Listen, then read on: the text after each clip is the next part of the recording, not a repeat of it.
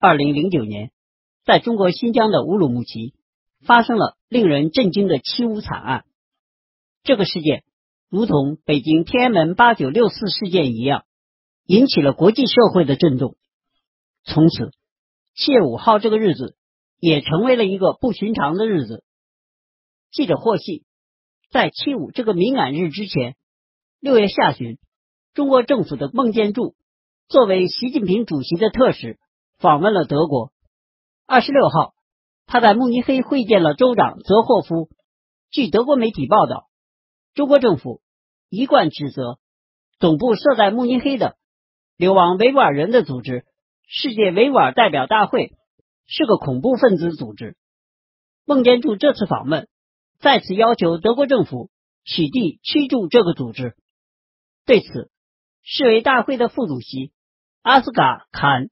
在德国电视台对他的采访报道中说：“他说，泽霍夫再次拒绝了中国政府的要求。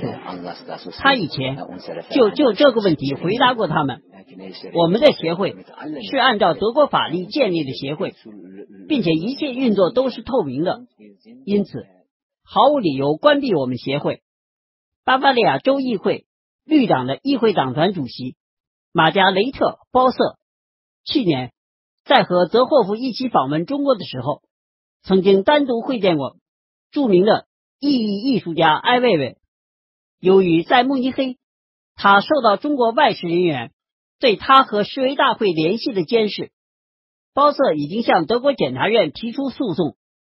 对此，上星期他在参加世维大会的活动时对记者说。多年以来，中国政府一直在这个问题上向德国政府施加压力。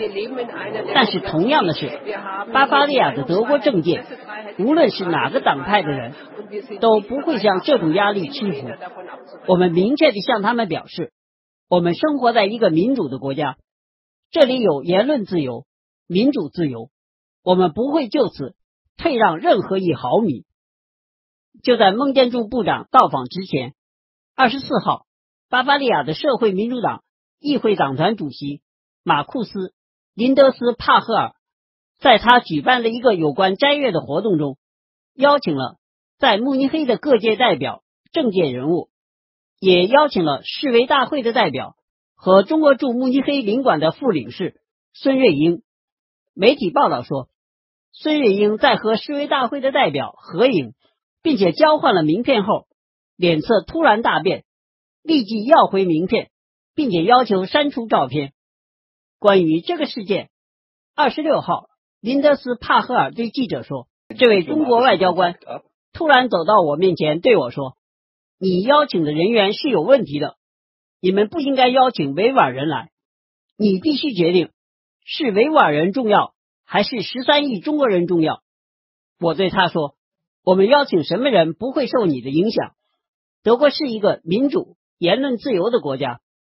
为此，这位外交官立即就走了。